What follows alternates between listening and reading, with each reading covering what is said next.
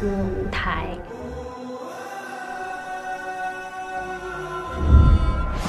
一道曙光，这样一片空地，像一个清流一样存在在那里。对一切充满可能性的期待。他永远都会有一群爱讲故事的人，和一大群爱听故事的人。带着完全没有束缚的，完全是一种随心所欲的那种感受。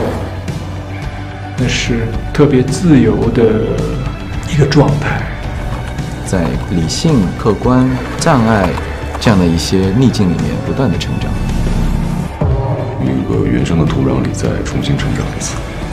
电影的过程是一个生命的过程，他有他自己的态度，他有他自己的执着。看得出所有的人都是在发挥能量。别看我小，我有我的精神。这个精神，这个门槛是我尊重年轻，尊重独立，尊重电影品质。就像是在沙漠里开出的一朵娇艳的花一样。我的电影就是第一颗玫瑰，也是最后一个玫瑰。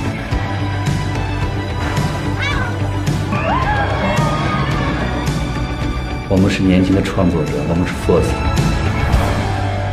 其实只有野草。还有青春的梦想，你是阻挡不了它的。明幕亮起，希望永在。咱们一块儿加油。哎，你怎么在这里？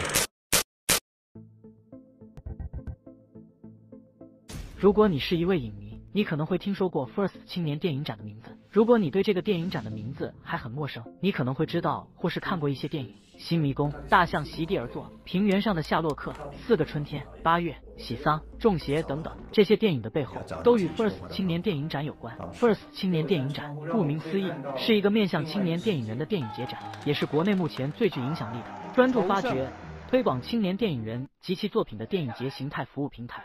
First 创办已经十五年。其前身是脱胎于中国传媒大学的大学生影像节。时间倒回到二零零六年，两名痴迷电影的年轻人宋文与李子维创办了大学生影像节。活动创办之初仅限于大学生内部，主要用来展映中传学子的优秀作品。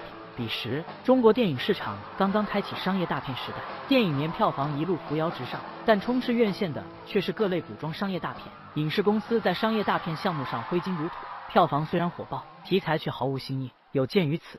创始人宋文和李子维确立了这个业余电影节的定位，持续发现与推选青年电影人，力图打破电影艺术的边界。电影节办到第五届的时候，他们将其正式更名为 First 青年电影展，并从北京搬到了西北高原上的西宁。此后，First 电影展变得越来越专业化，谁也不会想到这样一个民办电影节将在此后的十余年里对中国电影市场造成怎样的影响。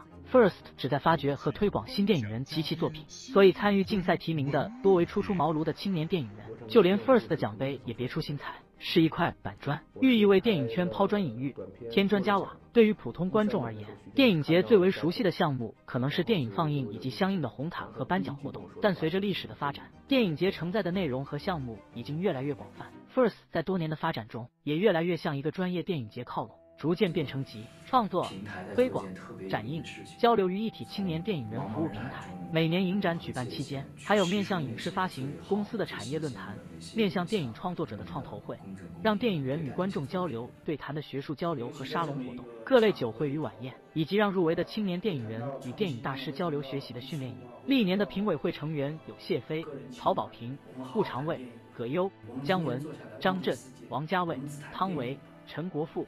张艾嘉担任训练营导师的有贝拉塔尔、罗红枕、段奕宏、张颂文。成立十五年间，First 发现并培育出了一批备受业界关注的青年电影人和作品，《新迷宫》和《爆裂无声》的导演辛玉坤，《我不是药神》的导演文牧野，都是最先从 First 崭露头角。这些 First 系导演如今已经成为近年华语影坛不能忽视的中坚力量，而作为幕后推手的 First 影展，也因此在华语影坛名声大噪。基于这一点。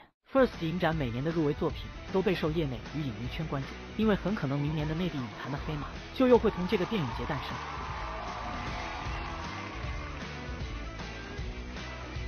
而在专业化和产业化的同时，First 同时也被誉为国内最自由的电影节。相较于官方代言的上海电影节和北京电影节，FIRST 影展的电影氛围可能是国内最放松自由。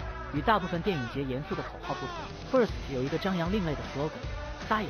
FIRST 影展的举办地点在西北高原上的省会城市西宁。来的 FIRST 很多影迷都说，如果不是这个影展，也许他们中的大多数人终其一生也不会来到西宁。来西宁之前，很多人对于西北的印象可能是荒凉、落后、萧条。然而真正抵达西宁市之后，才感受到了这座城市的繁华与喧嚣。作为青藏高原上的省会城市，七月份的西宁正值旅游旺季，两千六百米的海拔让这里即使在盛夏也能维持着二十度的舒适气候，因此有夏都之称。再加上由于地理经度的原因，西宁的时差要比通用的北京时间晚一个多小时，尤其是盛夏时节，这座城市要到晚上八点才会日落。夜生活倒也算丰富，在电影节举办的海湖新区万达广场附近，几座大型商场和商业步行街环绕在一起，其热闹程度完全有资格叫做西北三里屯或是高原小中。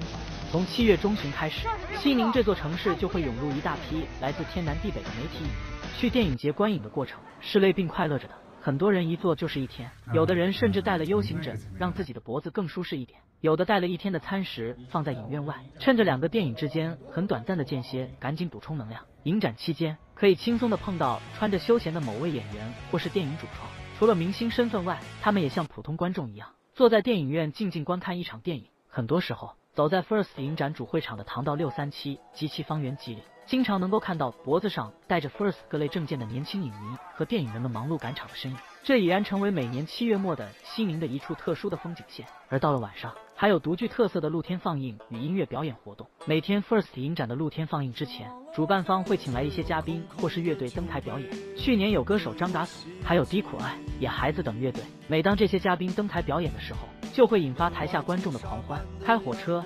跳水者络绎不绝，从露天放映直接变成大型蹦迪狂欢。如此丰富的活动类型，让 FIRST 影展成为一场属于青年电影人和年轻影迷的盛会，是每一个爱电影人的乌托邦。等到全天放映活动结束后，影迷们再三五成群的去寻找西宁当地的饭馆，搜罗品尝鲜嫩的青海节羊肉，或是西北特色的土火锅。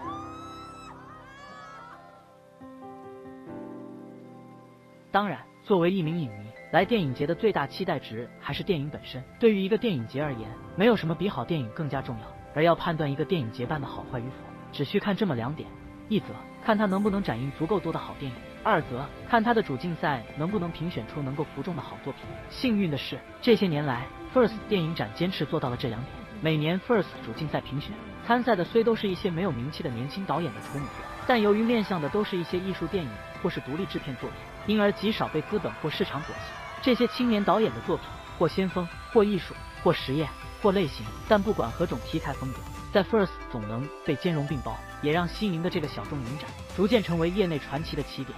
说小众，是因为 FIRST 在规模和影响力上，仍旧无法比肩所谓的一类国际电影节。一个有点尴尬的事实是，这个内地目前最好的电影节，至今却不能叫电影节，而只能叫电影展。不过，这反倒成了这个小众电影节的某种优势，在 FIRST。